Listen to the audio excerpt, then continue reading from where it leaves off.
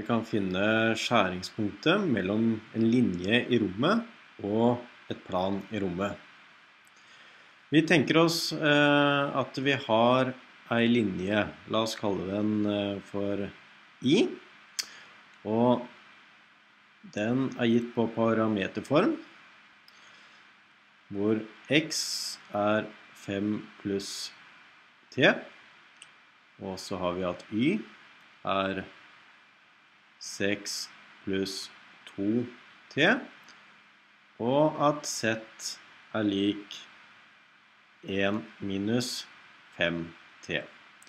Så når vi varierer parameteren t her sånn, så vil x, y og z alltid danne punkter som ligger på, på denne linja. Eh, vi har også et plan. Eh, la oss kalle det beta. Og planet beta er gitt ved ligningen 2x pluss 3y minus z minus 1 er lik 0. Så alle x, y og z-verdier som oppfyller den ligningen her, slik at den er lik 0, eh, vil da være, eh, ligge på, i planet beta. Det vi skal gjøre nå er å finne skjæringspunktet mellom denne linja I og planet beta. Så det vi må gjøre da er å finne x, y og, og z slik at uh, denne ligningen her blir lik null. Og da er det t som er vår ukjente. Så det vi gjør er å skrive opp ligningen for planet.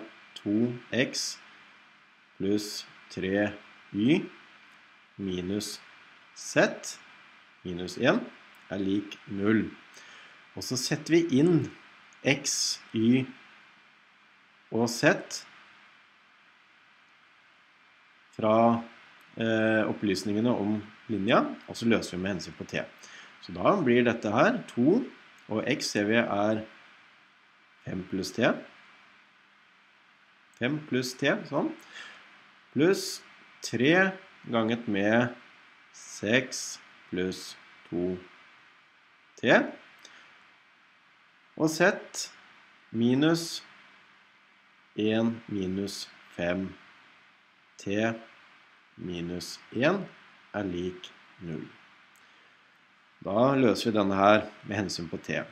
Da kan vi begynne med å gange ut. 2 ganget med 5, det er 10 pluss 2 t pluss 18 pluss 6 t minus 1 pluss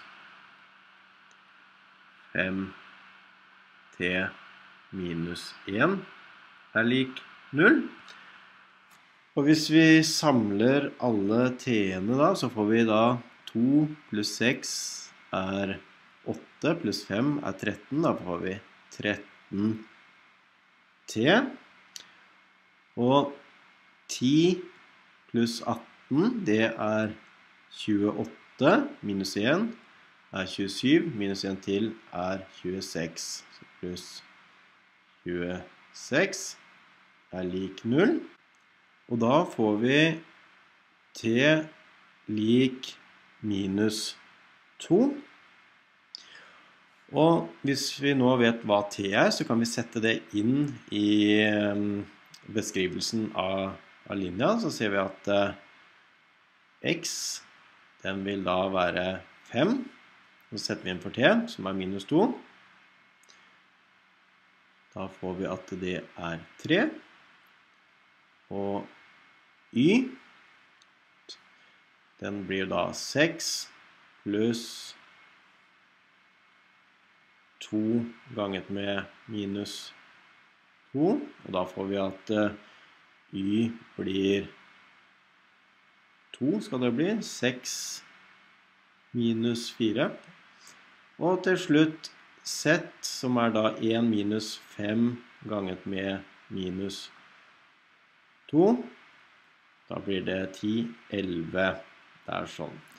Så skjæringspunktet eh, hvis vi kaller P da, for skjæringspunktet, det blir jo da X, Y og Z.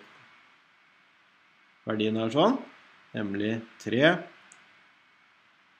2 og 11. Så P er skjæringspunktet mellom linja I og planet beta.